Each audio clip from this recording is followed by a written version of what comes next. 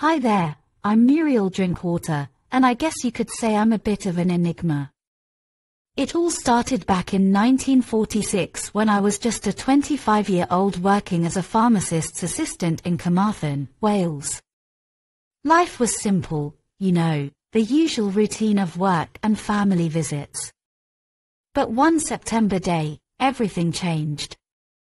I decided to take my lunch break and set out to hitchhike from Carmarthen to my parents' place in New Quay, Cardiganshire.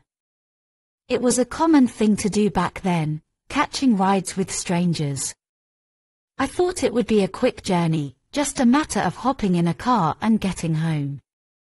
Little did I know, that would be the last time anyone saw me. I was last spotted near Llanboididy, trying to catch a ride. And after that, well, it's as if I vanished into thin air. No one knew where I went or what happened to me. The search that followed was massive, with everyone from local authorities to volunteers joining in. But despite their efforts, no trace of me was ever found. It was like I had simply vanished from the face of the earth. Over the years, people have speculated about what might have happened to me. Some say I was abducted, while others think I might have chosen to start a new life somewhere far away. The truth is, nobody really knows.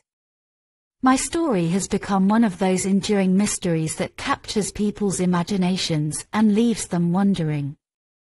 So here I am, still a part of this strange tale, sharing my story with you. As time goes on, I hope that someday the truth about what happened to me will come to light.